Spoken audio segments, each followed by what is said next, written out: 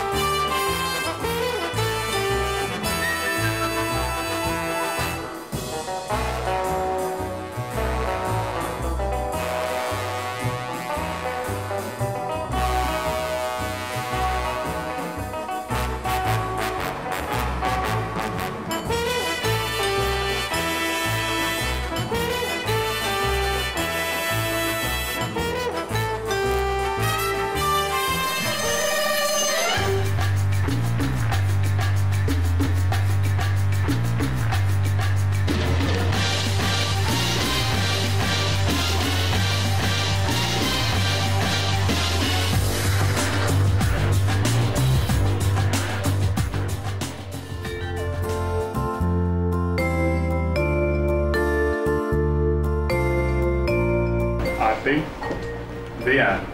Tagad jums piedāvājas pats lielākais cieņas tituls, kas var būt starp vīrieti un sievieti. Gods saukties par vīru un sievu. Un apsolos tevi mīlēt, Cienīt un godāt, laimē un nelaimē, priekos un bēdās, bagātībā un nabadzībā, slimībā un veselībā. Līdz nāvam uzšķirs. līdz nav mūs